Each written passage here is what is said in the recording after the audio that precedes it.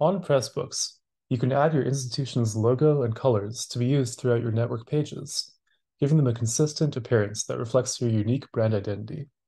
We'll show you how to go from the generic default network page design to a customized look and feel, such as this one.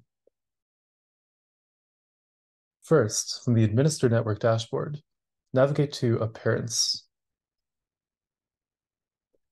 The Colors menu here allows you to set your institution's colors. For example, you can adjust the primary color, which is used for links and other primary elements. You can preview changes live. You can also adjust the accent color, which is used for flourishes and secondary elements. Once you're happy with your changes for now, press the Publish button. Going back to the Appearance menu, you can also go to Site Identity to add a logo to your network. When you press Change Logo, you're brought to a page where you can upload an image in SVG, PNG, or JPEG format. Suggested image dimensions are indicated on this page.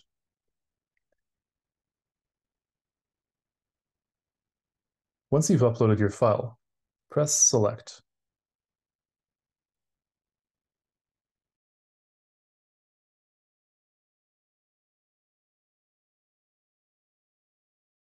You can also add a site icon, which displays in browser tabs and bookmark bars.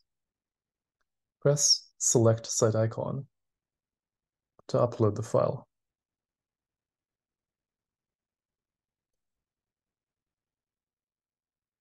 Press select. You'll notice that the icon has now been added in the browser tab here. The same process can be followed for setting a header image to replace the default image in the background of the network homepage.